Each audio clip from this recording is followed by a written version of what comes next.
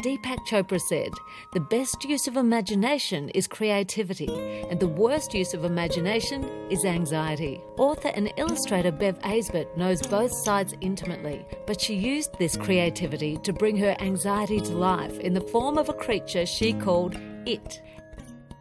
Bev, I've got to say, I am so excited to meet you in the flesh because I feel like it was a point in my life, it was the worst time of my life, and I walked into a bookshop and I picked up your book, Living with It, and I started reading, and I swear to God, it changed my life. So, firstly, I want to say thank you so much.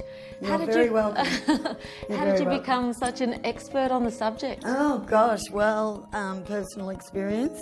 Um, I really did have very severe anxiety back in the early 90s. So, why did you feel the need to actually create a character to explain what you're feeling? I came up with the idea of living with it because people referred to it in a negative way. And um, I started thinking about what is it, and Stephen King has given one form of that answer. And in, in a sense, we're not so different in coming to that idea that there's um, that aspect of self that is our worst fear. People would say, I can't stand it and I'll never get over it and it's killing me without really being specific. So, in terms of anxiety, I decided to bring that big dark force down to size, make it into a cartoon character that was more naughty than gothic. And the idea in the end is to make friends with you because that's you.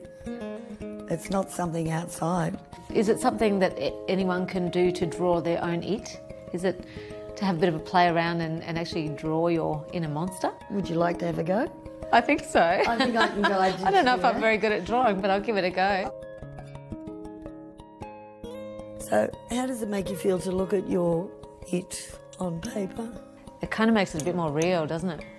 So, if you look at this little guy or girl or whatever it is, it's actually quite cute underneath. It is quite cute. underneath. It's, it's, not a big. It feels like a little, a young person. That's right. Yeah. It feels like a child. Yeah. So if you want to make friends with this little dude, and make room for that little dude. Yes. So that it doesn't feel lonely, I yeah. guess.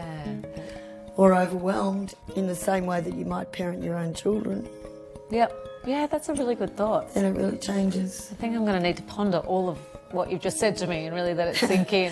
well, it is a big subject. It's huge. I mean, in fact, anxiety is only the tip of the iceberg. It's just a road into um, seeing ourselves. Thank you. Thank you, Bev. Yeah. I think you've changed lots of lives around the world.